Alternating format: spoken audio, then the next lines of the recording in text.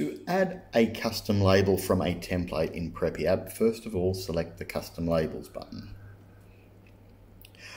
At the top of the Custom Labels page, you will see a big plus button just underneath your logo. Press the plus button to add a new label from a template. Next, we will see all the templates that are available. Select the template you wish and give it a name.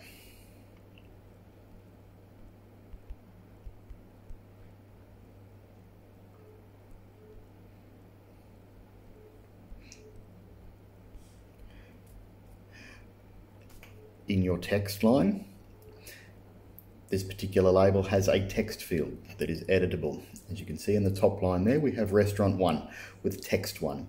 Text one, we wish to create our own individual text. So let's add a store number for this particular one and press done. Once we've added that, we press the refresh button. Once we've pressed the refresh button, the text line will populate with the text that we've entered.